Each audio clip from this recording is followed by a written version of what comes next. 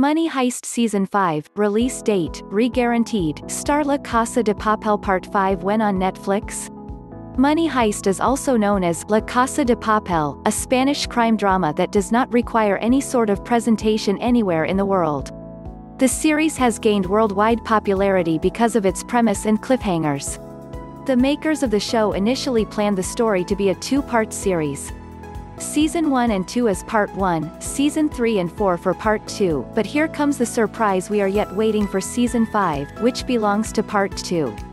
They had an open cast on the Antena 3 streaming network before Netflix took over, and the series became a worldwide phenomenon. The series is fast and revolves around a group of robbers and one mastermind, that is, the Professor.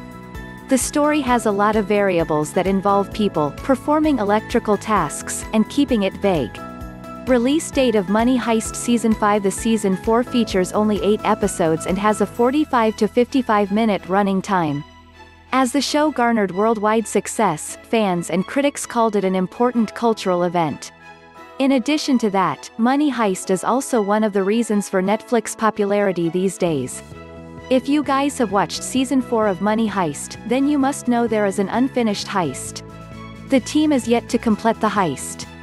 Several daily curricula from Spain reported that Netflix's biggest broadcast is currently in talks with creators to promote Season 5.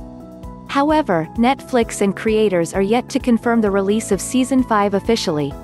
So guys please wait patiently for the Season 5 and we are almost sure that no more new cast is showing on Season 5 because this Season 5 of Money Heist is going to continue with the Heist of Gold, which is unfinished business from Season 4. Guys, please subscribe to our channel for more details on a different reality show and series like this. And your comment is always valuable for us. Thank you.